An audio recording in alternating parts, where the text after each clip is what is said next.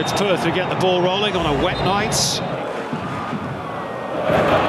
Swinger towards Scott Neville, who uh, might have got a little piece of it. It swung in Good looking delivery by Walter Scott, and they've scored. Scott Neville, second time around. He had a bite at it first time from Castro's corner.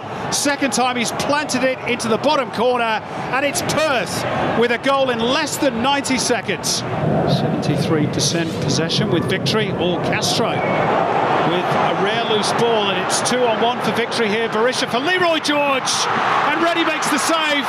Surely they must score. James Troisi does following in at the far post, and it's 1 1. James Troisi with just his second of the season. It's a beautiful ball by Castro. They're onside this time. Jacob Italiano Taggart! Matt Acton makes the block with the legs. Crucial stop. Leroy George from the touchline, whipping it in low. Doesn't score too many, certainly not from open play. They normally come from the penalty spots. But he was in the right position to get on the end of Leroy George's ball in. It's going to be Dino Djulbic to come off. And he's going to hand the captain's armband, or Carl Valeri is, I should say, to Leigh Broxham as he prepares to take the pitch for the 250th time as a Melbourne Victory player.